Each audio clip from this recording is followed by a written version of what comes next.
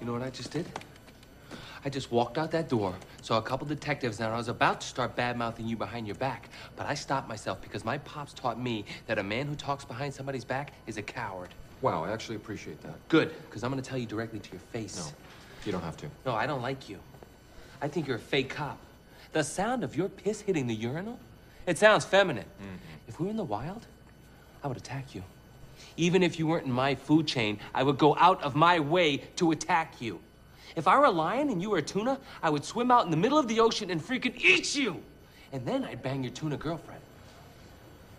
Okay, first off, a lion swimming in the ocean? Lions don't like water. If you'd placed it near a river or some sort of fresh water source, that makes sense. But you find yourself in the ocean, 20 foot waves, I'm assuming it's off the coast of South Africa, coming up against a full grown 800 pound tuna with his 20 or 30 friends, you lose that battle.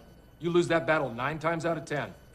And guess what? You've wandered into our school of tuna, and we now have a taste of lion. We've talked to ourselves, we've communicated, Yeah. and said, you know what? Lion tastes good. Let's go get some more lion. We've developed a system to establish a beachhead and aggressively hunt you and your family. And we will corner your, your pride, your children, your How are you gonna do that? We will construct a series of breathing apparatus with kelp. We will be able to trap certain amounts of oxygen.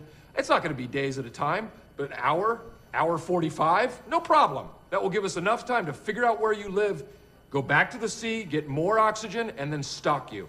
You just lost your own game. You're outgunned and outmanned. Did that go the way you thought it was going to go? Nope.